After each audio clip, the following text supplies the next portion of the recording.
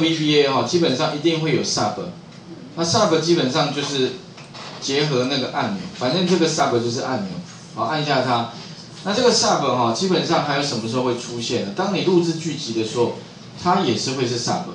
好，剧录制剧集，不知道各位有没有用过啊？那录制剧集实际上哦，就是可以帮你把你做的动作全部都录下来，它会帮你自己写 VBA 程式。不过那个东西录下来的话哈，会比这个来的繁琐许多啦，就很多一些不需要出现的东西，它一堆哈。那这个后面当然会提到。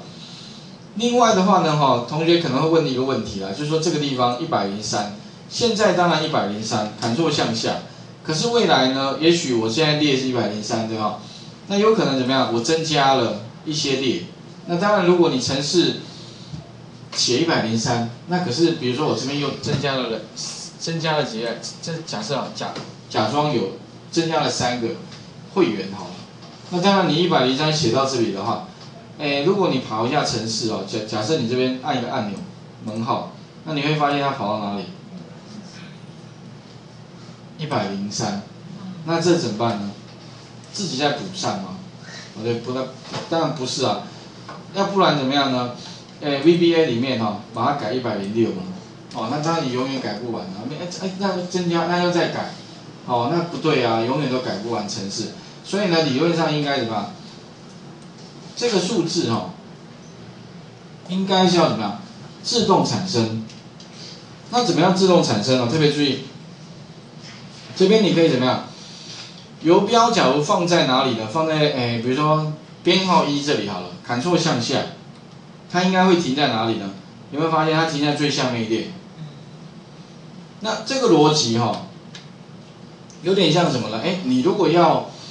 把这个逻辑写入到 VBA 的话，那这边顺便讲一下，如果说我今天希望让它向下追踪，得到最下面一列的话，这样的写法哈，这边我们可能要多学一个叫做 range。range 哈，这个这个物件哈，你当然顾名思义，它可以是一个范围 range 嘛哈，当然它也可以是一个储存格。如果说你输入的是一个储存格的位置，它就是一个储存格；如果你输入的是一个范围，它就是一个范围。好，那比如说我今天呢，假如说我刚刚不是有 Ctrl 向下，那这个动作呢，有没有游标放这边，Ctrl 向下，它会自动帮我跳到这个范围的最下面一列。那如果说我要用同样的逻辑哈，把它写到那个 VBA 里面，它的写法是游标放在 A4 好了，哦，当然你放 A3 也可以。A 四这个储存格呢，向下点一下有没有？打一个一，E N D 有没有？End 嘛，End 就边界嘛，其实就跟刚刚按 Ctrl 键道理一样。那这个 End 就是类似 Ctrl 键按住，前刮弧之后哈，Shift 按键按住再前刮弧，你会发现哦，它会跳出什么？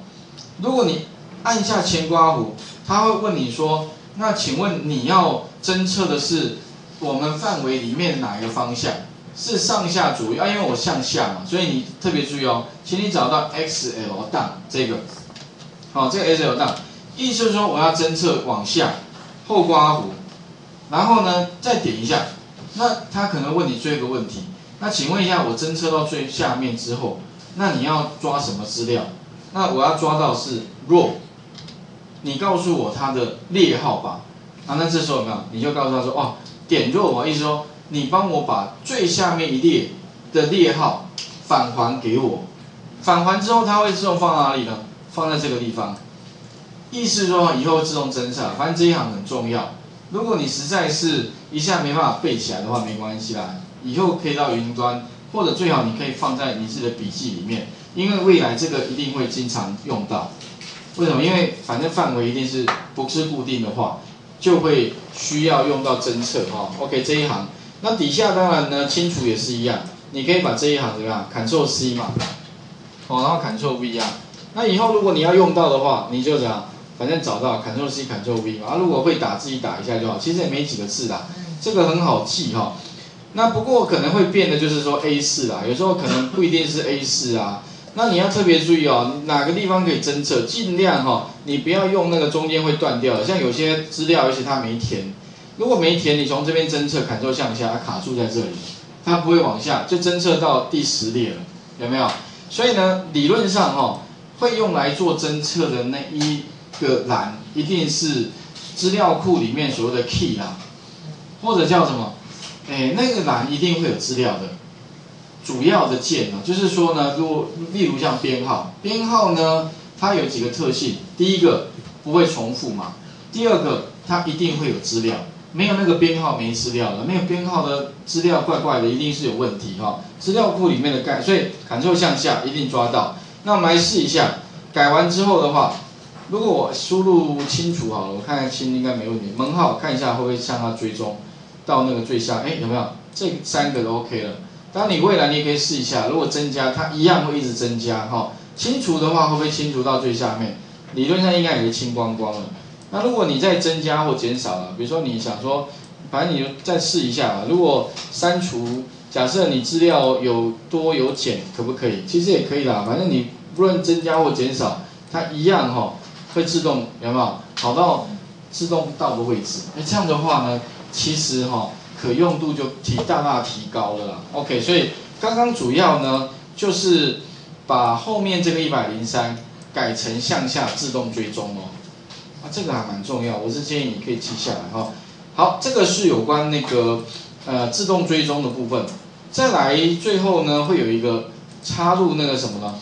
制定函数的。哦，OK，啊，制定函数跟这个不一样，不过它们都是 VBA，啊，只是说形式不同，但是都是 VBA 的其中一种。我们可以在使用者定义，因为我已经写那个方选，那你可以多两有两个，一个要手机。手机的制定函数呢，会要三个资料，所以它的逻辑一定是什么？会，哎，跟使用者要资料，要了资料之后怎么样？把结果丢到自己本身，自己本身之后的话哈，再把结果哈返还到你现在的储存格里面，这个东西丢到这边，好，啊，它的逻辑大概这样，只是说你要怎么把它写出来了，这样就 OK 了。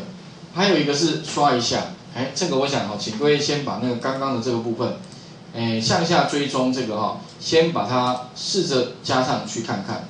来，画面先还给各位一下。哦那这一行好像在云端上也有哈，就是如何自动侦测最下面一列。哦，OK，那你就把它。